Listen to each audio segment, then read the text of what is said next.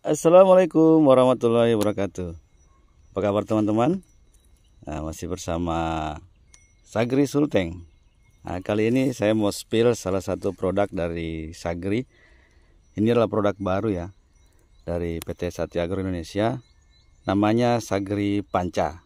Sagri Panca ini bahan aktif Pimetrosin dan nitenpiram Nah, di sini fungsi dan kegunaannya ini untuk mengendalikan populasi kutu kebul ya baik di tanaman e, horti kemudian di wereng ya tanaman padi. Oke. Nah ini ini ini rekomendasinya ya. Kalau di cabai itu 1 gram per liter. Kalau di padi kalau serangan tinggi bisa sampai 1 gram per liter ya.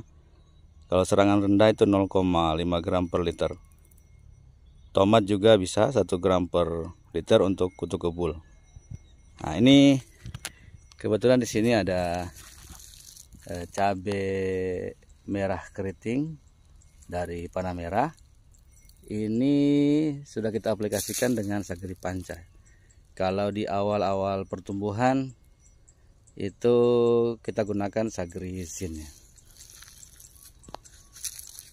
Ini agak aman sudah.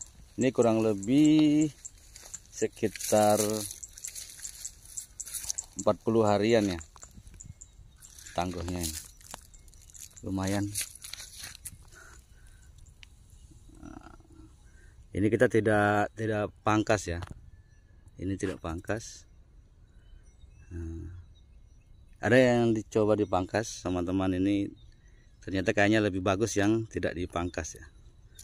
Kalau untuk perlindungan dari serangan eh, kutu kubulnya nah, ini kita pakai sagri panca. Oke. Mantap